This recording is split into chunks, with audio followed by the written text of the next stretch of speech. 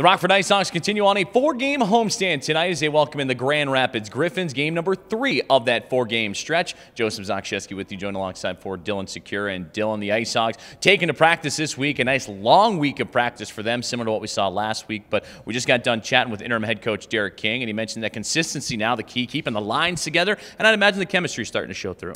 Yeah, it's, it's always nice when you don't have to travel uh, throughout the week, and it's nice, uh, you know, obviously having that win last weekend. And you kind of use that as momentum in practice this week, and uh, you know, I think this week we learned a lot of new things. Went over some more system stuff, some face-offs and stuff like that. So I think you know we're, we're getting closer to uh, you know getting that chemistry pretty good, and uh, I think you know all the lines are pretty happy right now. If, uh, you know how they feel during this week, and you know hopefully we can show it tonight.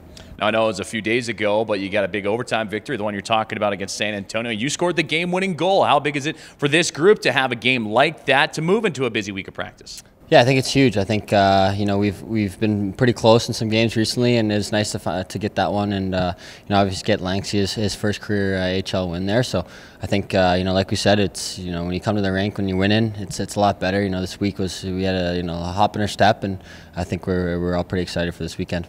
Now facing the Grand Rapids Griffins here tonight, an eight-game point streak for this team, six-game winning streak. You talk about strategizing. What are you seeing in your video sessions? Yeah, I think uh, you know they're a good team. They got some skill. They got some good players. Uh, you know, I think when we went out there, we played them pretty hard, and uh, you know a couple bounces went our way. Could have been a different story, but uh, you know I think it's going to be a good match tonight, and um, I think we're all pretty excited to get out there, and uh, you know we got fresh legs right now.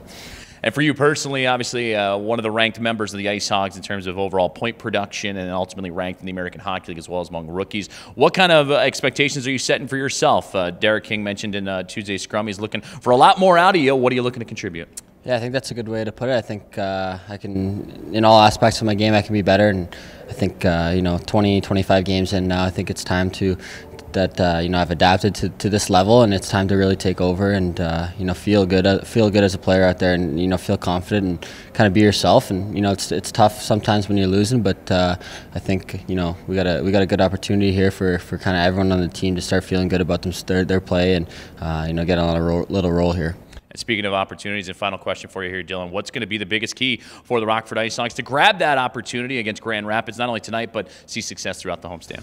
Uh, I think we have to get out to a hot start tonight. I think uh, you know we got some fresh bodies, we got some good legs, and uh, you know if we can jump on them early and, and maybe get out to a nice lead, that's always nice. But I think you know from from our goaltending all the way out, I think we're a pretty solid group, and uh, you know we just got to put it all together for a full 60 tonight. Well, Dylan, I appreciate your time. Good luck tonight. Thank you.